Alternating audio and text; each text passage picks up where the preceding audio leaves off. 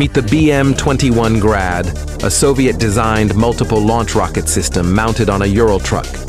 It can fire up to 4,100 22mm rockets in a single salvo, covering wide areas with mobile firepower. Since its introduction in the 1960s, the Grad has been exported worldwide and remains in service with many nations today. Now, the two A-36 Giatsint B a 152mm towed artillery piece with impressive reach. With a firing range of up to 30 kilometers, this gun combines long-range precision with heavy firepower. Designed in the 1970s, it still stands as one of the most powerful field artillery systems of its era.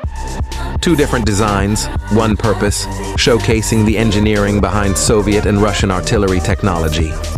Follow Military Tactics HQ for more insights into advanced military systems.